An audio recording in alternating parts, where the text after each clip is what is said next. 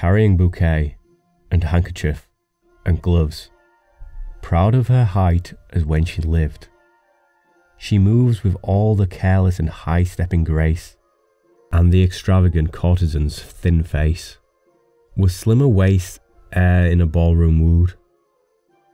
Her floating robe, in royal amplitude, falls in deep folds around a dry foot, shod with a bright flower like shoe that gems the sod. The swarms that hum about her collarbones, as the lascivious streams caress the stones, conceal from every scornful jest that flies her gloomy beauty and her fathomless eyes are made of shade and void with flowery sprays. Her skull is wreathed artistically and sways.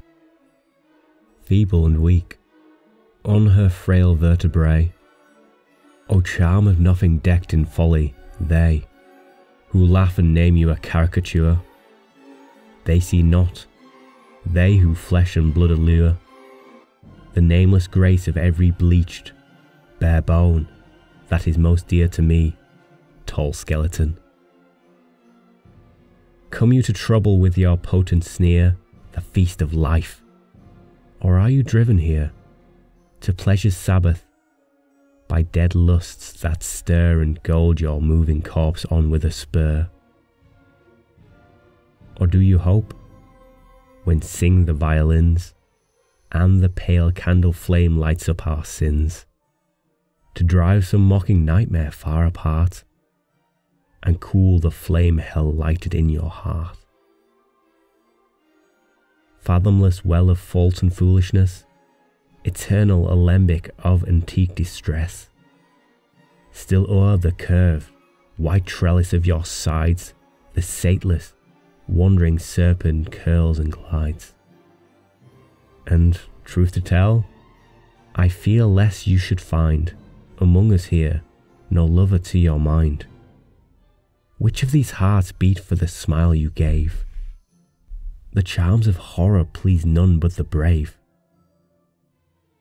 Your eyes, black gulf, where awful brooding stir brings giddiness. The prudent reveller sees, while a horror grips from beneath the eternal smile of thirty two white teeth.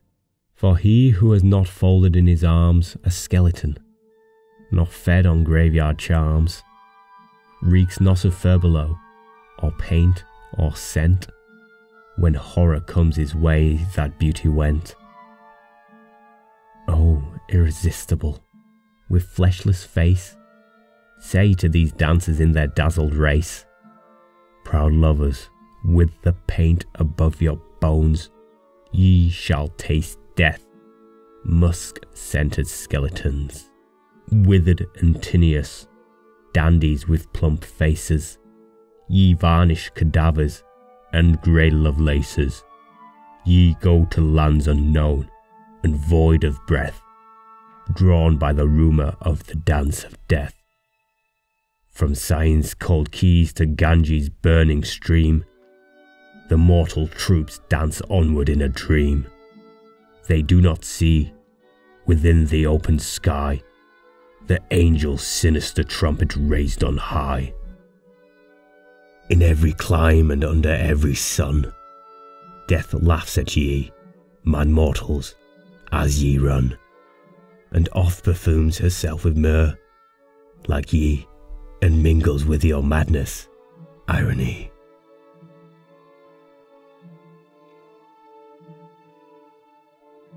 The Dance of Death, written by Charles Baudelaire, narrated by Jordan Harling.